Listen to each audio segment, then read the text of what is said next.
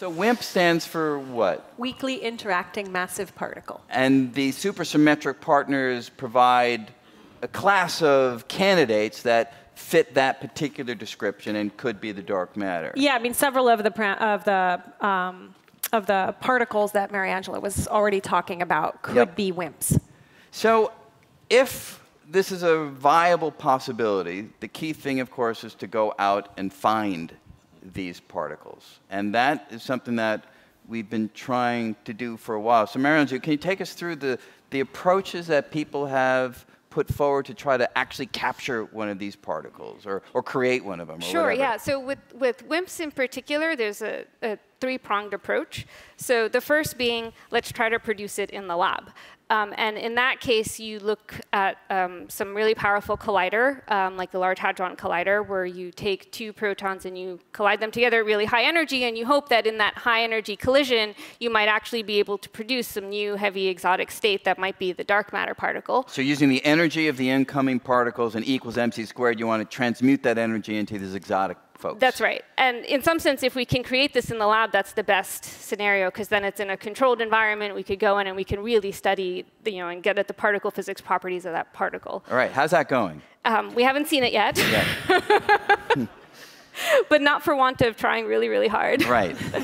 Okay, and, and we're still still trying, right? It's not as though the game is over, but That's so right. far, That's nothing. right. I mean, the, the LHC has been running for the last few years um, and will be continuing to, to run. So far, we haven't seen anything, but you know, people are you know, there's going to be more data and people are coming up with new and creative ways of analyzing it. So we never know when that surprises. So that's one approach, trying to actually create it in the laboratory. Mm -hmm. Other approach. The other approach um, is uh, to to look at for it in the sky. So to look, I'm sorry. What? To look for it in the sky. Yes. So if you have two dark matter particles that interact, um, they could sometimes, very rarely, but sometimes, produce a little flash of light. Right. Um, and so you can look for this annihilation process um, by searching in parts of galaxies where you expect that there might be a lot of dark matter and see whether or not there's an excess of light over what you would have otherwise have expected to see.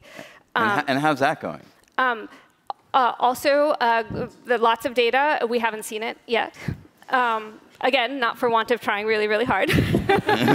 and, and, Joe, you, uh, uh, would that be your assessment? The beautiful point of this argument is that the very same effects that stop these particles being created in the early universe still give you a value uh, of, of their interactions. And if ever they could find one another, they would produce, again, a flash of gamma rays, actually, yep. a, a cascade of quarks and whatever.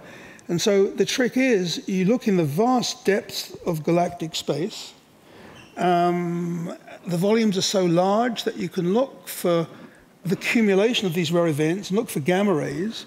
Um, you can see here the gamma ray sky as measured by. Just remind us what gamma rays are, just to be. Uh... Okay, they're photons which are thousands of times more energetic and penetrating than X rays. Good. Okay, they're um, hundreds of MeV, X rays are keV. So, really, really hard photons produced in nuclear explosions. I mean, if, if ever you're unfortunate enough to be near a nuclear explosion, then you would be rated by gamma rays. Uh, that would be one of the the more catastrophic things that could happen to you. But fortunately, the gamma rays um, don't get through the Earth's atmosphere. That, we, we look for them from satellites in space. So, uh, and there they can penetrate, can propagate freely. And so in the center of our Milky Way galaxy, which is where the dark matter mostly accumulates, um, you would expect there to be a slight excess of gamma rays if the dark matter is indeed um, the, the WIMP type of dark matter.